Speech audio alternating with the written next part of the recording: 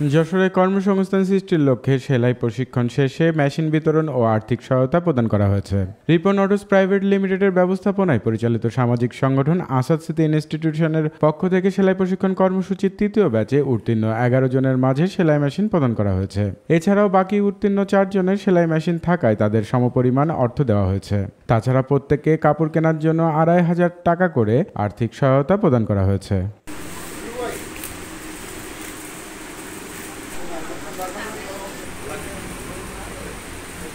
এই উপলক্ষে শনিবার সকালে যশোর শহরের নলডাঙ্গা রোডে সংগঠনের নিজস্ব কার্যালয়ে অনুষ্ঠানের আয়োজন করা হয়। অনুষ্ঠানে বক্তব্য রাখেন যশোর সংবাদপত্র পরিষদের সভাপতি ও দৈনিক কল্যাণ সম্পাদক বীর মুক্তিযোদ্ধা একরামুদ্দৌলা। প্রেস ক্লাব যশোরের সাধারণ সম্পাদক S M Tahidur Rahman. R N road ক্রীড়া চক্রের সাধারণ সম্পাদক মোস্তফা গোলাম কাদের। উপস্থিত ছিলেন রিপন অটোস প্রাইভেট লিমিটেডের ব্যবস্থাপনা পরিচালক Ayazuddin Ripon. R N road ক্রীড়া চক্রের যুগ্ম সাধারণ সম্পাদক জিয়াউর রহমান বিপ্লব। মনিরুল হুদা খান মনি প্রমুখ।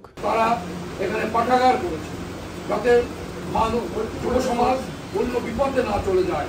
সেক্ষেত্রে তারা তাদেরকে শিক্ষায় শিক্ষিত করার জন্য এখানে পাঠাগার এখানে দুস্থ যারা আছে, যে এই সমাজে তাদেরকে স্বাবলম্বী করার জন্য আজকে এই যে সেলাই প্রশিক্ষণ অনুষ্ঠানে রিপন অটোস প্রাইভেট লিমিটেডের চেয়ারম্যান এজাজউদ্দিন টিপু বলেন, নারীদের আত্মনির্ভরশীল করে তোলার লক্ষ্যে আমাদের এ কর্মসূচি নেওয়া। এটি আমাদের তৃতীয় ব্যাচ। এর আগে দুই ব্যাচে তিরিশ জনকে প্রশিক্ষণ শেষে সেলাই মেশিন প্রদান করা হয়েছে।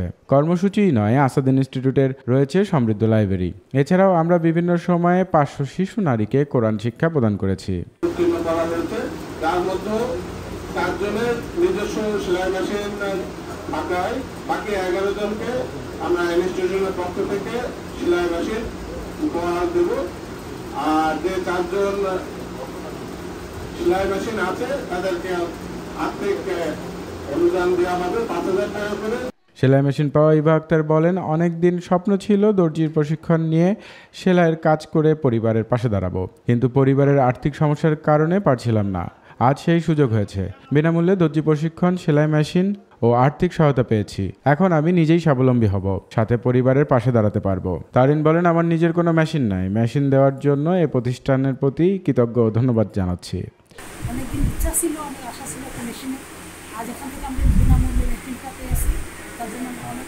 খুশি এবং ধন্যবাদ জানাচ্ছি। আর্থিক সহযোগিতা আমরা পেয়েছি। তো সেই টাকাটা দিয়ে আমরা হচ্ছে বই কিনবো।